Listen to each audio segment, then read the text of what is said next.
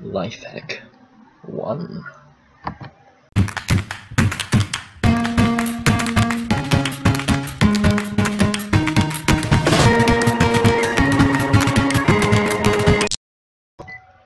Hello guys and welcome to another It Len YouTube tutorial.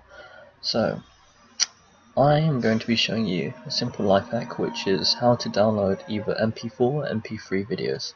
Now I'm going to start off by showing you how to download MP4 using my own video, so let's start. So, got my video and before we do anything we're going to put 10 before the U in YouTube press enter and then it will take us to this page it will show you a snippet of what we are downloading and what you're going to do is you're going to download using these extensions mp3 or mp4 now this is probably best for your desktop or laptop and it is good for either downloading video files uh, mainly video files and mp3 files which is best only on the desktop and not your phone.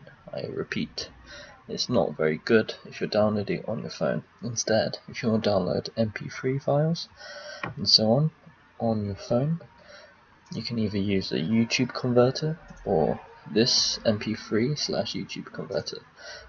In order to get that, you go on YouTube or you type in, sorry, MP3 converter, like so. The best one I go for is this one, convert to MP3, the second one.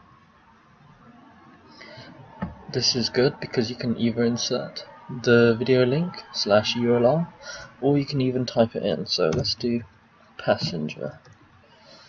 Let Her Go, for instance. Press search and convert. Convert, as you can see.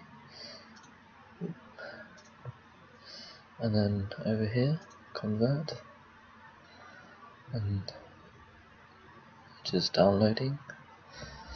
It's very good because it doesn't just give you the one option. In fact it selects a whole range of different versions in case there was a specific one you're looking for. But anyways so you press continue and then you can click on download.